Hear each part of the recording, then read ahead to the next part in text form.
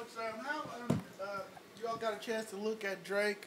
Um, you know, mm-hmm. uh, how how did he look? And then just what's the balance like of uh, you know getting the rookies ready to play, uh, the production, and uh, you know the decision of how much to put on their plate as as rookies? Yeah, it's a very good question because it's it's important. You know, you're getting ready to go.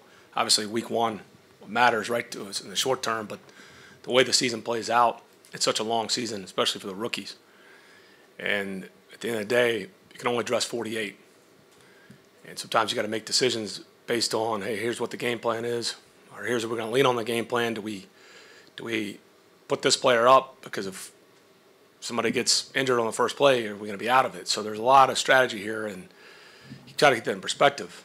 Um, certainly when you're dealing with rookies, um, you know, it's they're gonna everything's gonna be new for them. They played in the preseason, but we'll have to see who you know who can handle what, and we have to understand there's a long-term vision at play as well. It may not have a lot of productivity in week one. Doesn't mean by week five they may be up and really helping us. Drew Dalman named the starter. What mm-hmm. did you see from him in the last weeks of the preseason to really separate himself? Well, it was a tough competition and I've said it many times, you've got to be objective and you try to be as fair as you can be. Um, so you go back over over the weekend and you look at the whole whole training camp, whole training camp and preseason, and, and it was tough, and that's because you got two really good young players. It's not an easy decision, but ultimately you get paid to make decisions, and, and so that's a decision that you know I had to make. It doesn't mean that all of a sudden you're appointing them, uh, you know, to a lifetime job there, but um, they had a good competition, and just felt where we're at right now that uh, we'll go with Drew. When it comes to facing this de- the Saints defense on Sunday, I believe they were ranked first in opponent touchdown percentage in the red zone last year. What made them so so good at that point in the field when you faced them? Yeah, I think they do a really good job of. Um, you know, they got some really good veteran players that they they know when to turn it on in critical situations, and I think that's uh, they've got a clear identity. You know, Dennis obviously being the head coach, he's still the play caller, and, and they've established a really good culture down there. They play aggressive, they roll guys up front, but they got the veterans, and I think when they get down there and the, and the field tightens like that, they know exactly who they are. They've played together a long time, and, and usually in those critical situations, that's why some of those guys get paid the way they do. Uh, they, they've stepped up. Arthur, you guys are practicing in the stadium tape. Mm-hmm. Why did you make that decision to just to that? make your commute easier? I appreciate that. Thank you. Um, but in all seriousness, just and this is a blessing when you get to work to a place like the Atlanta Falcons and for Arthur Blank and Rich McKay, it allows you to come down here. And a big thing for me is being part of this city, and ultimately, just from a practical sense, is we get to train in the environment we're going to play in on Sunday, and that's important to us. Is to be really good at home. In my bias opinion, we've got the best stadium in all all of sports, and we need to make this our home. We need to to win at home um, there's always ways you go back and look at it, you know, make an argument for or against. But if we could have found a way to win two more home games, there's a great chance we would have kept playing. But we didn't, and that's the reality. And we got to be better at home. Was some of it too that you didn't have the two preseason games at home, so this is an extra, an added? No, not really what, my thought was. I mean, it's another way to look at it. Um, but you just want to get familiar with the building, and it's a, like I said, there's nothing like opening day in the NFL, and we get an opportunity to come down here and practice like I said, are lucky because a lot of organizations they don't allow you to do things like that or uh, you know cut costs. But we're able to, to, put the team, get on buses, come down here and, and train in the place we'll play on Sunday. And kind of following a little bit on what Tori asked, like Dennis Allen in his first time being a head coach. Well, no, he was a head coach before. Well, first time in New Orleans. New Orleans. It's been yeah. a while since he was in Oakland, but it's a good recovery. You, that's right. do you do you see any? Do you anticipate any change because he had been there for so long, and because Pete had been there for so long, also? Well, Dennis is his own guy, so obviously Sean Payton is, is a big presence and great football coach, and uh, you know they've established something really good. But a lot of times you're transitioning. Dennis is his own guy. He's a hell of a football coach. Um, they've certainly established identity on defense, but I'm, I'm sure, and I don't want to speak for him, but uh, he'll end up doing things his own way. And Pete Carmichael is a really bright football coach, and he'll have his own stamp on it the way he calls it. Um, it happens all the time when you're in transitions, and, and we know we got a ton of respect for this staff, what they're about, and we expect an intense this rivalry in this next chapter to be just as intense, or if not more, and that's that's a mutual respect. What's the expectation for Drake on Sunday? Is he like he a full go right now in practice, or we're just gonna have to keep seeing, and you know he practiced Monday. We'll see what it looks like the rest of the week, and then we got to make a decision on Saturday. Um, if he's playing, if he's not, you know how much you want to put on his plate. So And- th- it, we won't know till the end of the week. and um, also like how do you educate the rookies on kind of what to expect in this first you know game, just to kind of prepare them mentally, especially when you're going up against the Saints? Yeah, you try to use different you know ways to to get the point across. Um, go back and you know history of week one, and we talked about it last year, and you see it happen all over the league. It's a lot of times week one. There's it's kind of messy out football right there. We'd like to be the point where we don't have the self-inflicted wounds. You know, guys are going to be nervous whether they played in the preseason or not. Uh, the adrenaline will be flowing, and uh, a lot of times you can tell them, they can talk to the veterans, but at the end of the day, they got to experience it for themselves. You've been very deliberate with CP's preparation plan. Right. Is, is he where you had hoped he would be right now, and will you continue to manage him as carefully throughout regular season, or do you just have to see how it goes? No, uh, another good question. Yeah, we're very happy where he's at. Obviously, you got to be willing to adapt, uh, feel good about the plan, but we'll always be flexible and just see how it goes. Um, certainly, he's an important part of this team and, and what we're trying to accomplish.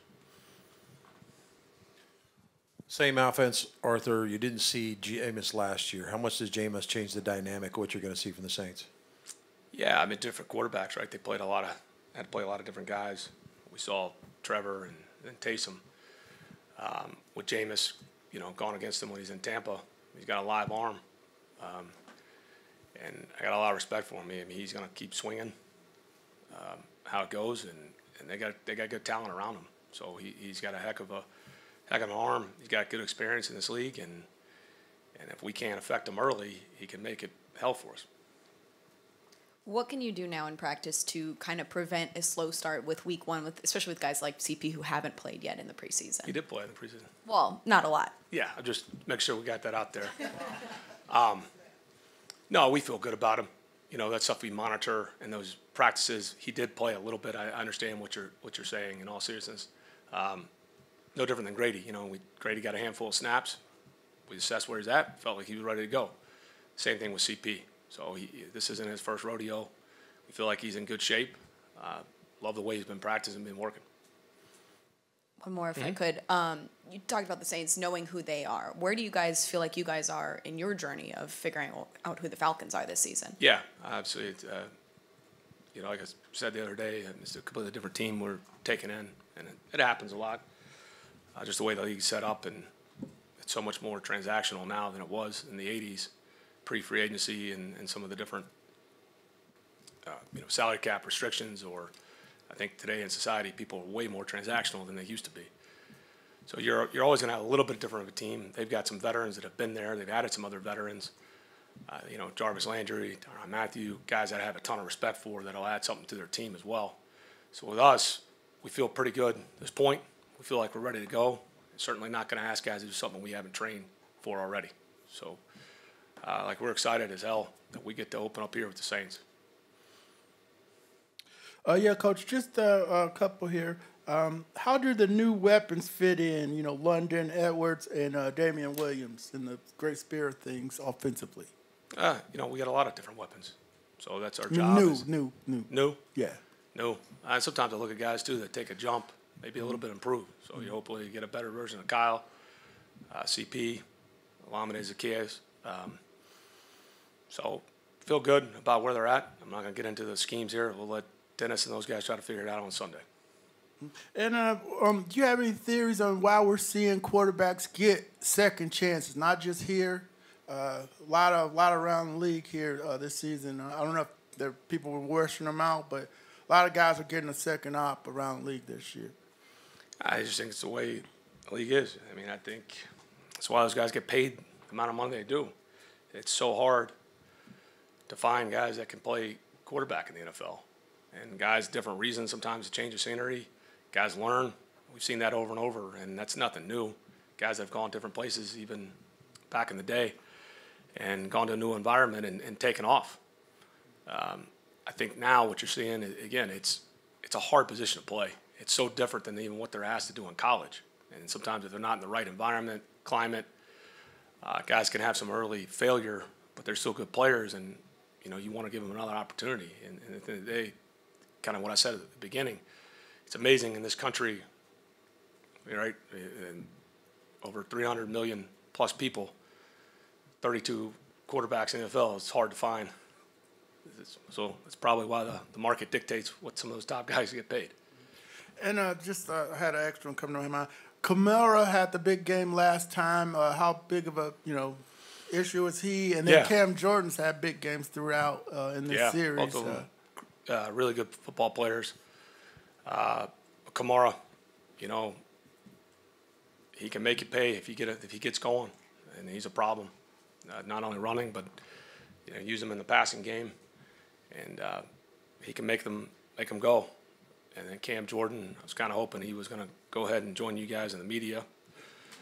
Um, maybe he needs to get a new talent agent. I probably could have helped him get more money, where he doesn't have to, you know. Because I, I honestly, in all seriousness, I see a guy that he predict he'll be on the network shows one of these days, and maybe Cam, if you're listening, I could have gotten you more money, and you wouldn't had to take on double teams and cuts and chips that may be thrown at you on Sunday. So, but I'm I'm ready for him to start to join you guys.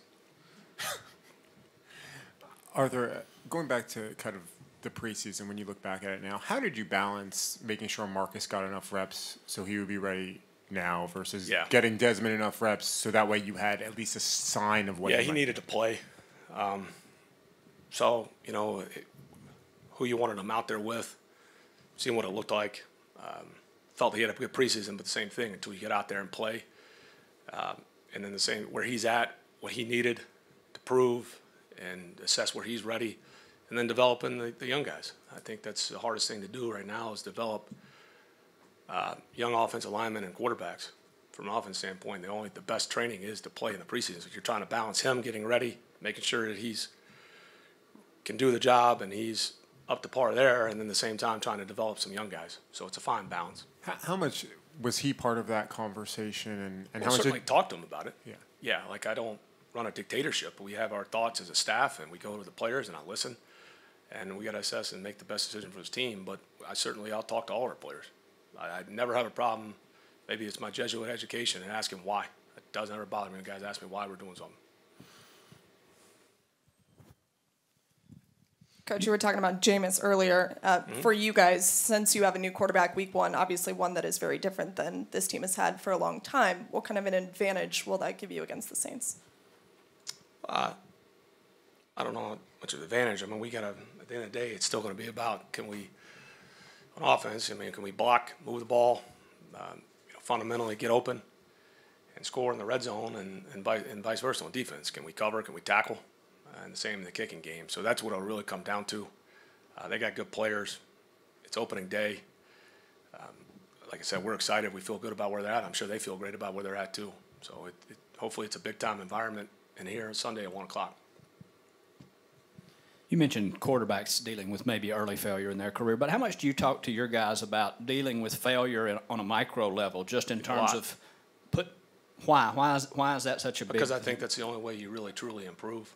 If you step in this and you're afraid to fail as a coach, you're just trying to survive, and you'll be a dime a dozen. You may make some good money, you may get you know change logos five or six times, great. But the great my best learning experience has been failure, and you're going to put yourself out here um, as a player and as a coach, and sometimes it's- painful. But you know what you signed up for, and I've learned more lessons from failure. And you go his- historically, you know, go look at. Uh, thought it was pretty good that Derek Jeter documentary talks about him early in his career, and you talk about pressure, guy being an early pick, playing in that in that market, in that organization, and uh, I think it's good for all of us if you if you have the right mindset to understand how to handle failure. Is that a difficult or challenging message for you to get across No. to players who are sort of at an elite level in their sport? No, who may, it's not at all, because it ain't a great one.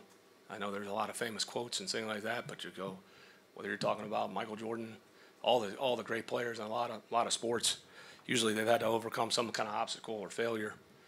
It probably helped them drive and understand and improve. I mean, the worst kind of guys are the ones that are afraid uh, to, you know, to make a mistake and they're worried about so hard about criticism or what somebody's saying about them online, um, you're basically done if that's your mindset.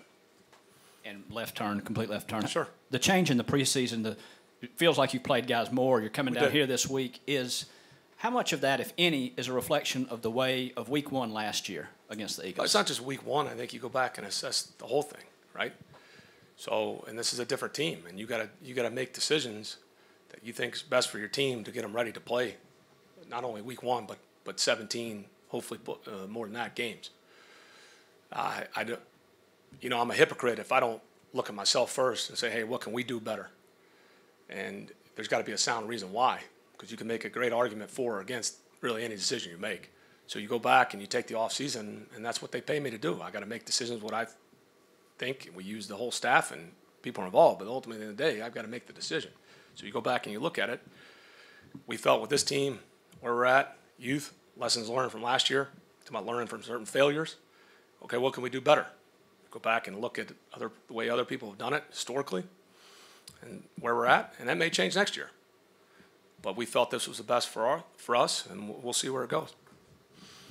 I want to go back to something you were talking about with seeing um, growth in Kyle Pitts, and I know it's something you've talked about in terms of seeing growth in his blocking, and I know everybody's going to want to talk about how many catches he's going to have, but how did you see him take ownership of that part of his game this offseason?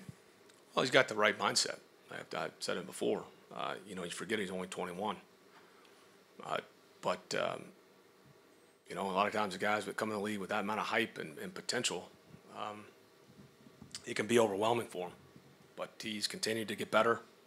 He's got the right mindset. At the end of the day, with all these guys, there's, really two ways, right? There's people that care about stats, and you can make a subjective argument in a 32 team league. What matters, what really matters is winning. And I think at the end of the day, it's the hardest urge to fight is to not be selfish as a coach and player. Stats, money, because at the end of the day, if you win as a team, usually people get rewarded. So, yeah, coach guys that you had a poor year and they caught 95 footballs. Great. You won three games. Congratulations. Maybe it makes you money. You come back the next year and you're able to, to change it to a winning culture and you win more. Maybe your production goes down, but you affected winning more and you played in more games. And when you're playing in games that are matter in late December and January, it usually works out really well for coaches and players. And so that's what we try to focus on. It's the same human urge you have all the time is to not be selfish, and we all fight that. But when you're trying to team, you don't care about stats. You're trying to find ways to win, and ultimately, if everybody can buy in, you'll have a lot of success in the long run. This might be like a very philosophical question. Sure, I'm on a philosophical rant. Let's go. I feel like it. So you talked about failure. So when's a very notable time in your life that you failed, and what did you learn from it? I mean, a lot. Uh, I mean, even in my coaching career, things that maybe I thought I was a quality control, that I had an arrogant belief that, oh, if I get my chance, I'll do it this way. And get your chance, and you tried something, and you say, oh, I see what some of these old coaches were telling me. Um, whether you know you have a game where you score 40 plus points or you score zero, uh, don't buy, don't buy the lie either way. Because it's, to me, if you can go back and assess how can I improve, how can I get better, that's how you'll win in the long run. So that's kind of how I've looked at it. And I was just curious, real quick. Do you ever plan maybe this during the season to like come and have a practice here, or is it just first game of the season, like gonna gonna do it? So it goes. I mean, we ha- don't have it on the calendar right now. The opportunity came about. Played two games in here this weekend. Um, I told Grady and AJ they were better honorary captains than Marcus was, but there's two games played in there. United's got a game on Saturday, so the opportunity came up, and you you know that's the thing. You've got essentially two weeks to get ready for week one. Opportunity came up, and talked to Rich about it, and we were able to pull it off. Thanks to a lot of people stadium and up at Flowery. Not to harp on the whole failure conversation, but I'm just curious if you've seen guys take those kinds of lessons from last year, maybe some tough situations that they've Sure. internalized and kind of propel them forward into this year, this week one. Yeah, I would. Uh, I would hope that they did. We'll find out Sunday at one. And um, yeah, I, I mean, I've seen it in practice, and you've seen it day after day, and that's the challenge. You know, not just the first day of camp, or you know, it's the third week or coming out. So you're very hopeful based on what you've seen. Thank you.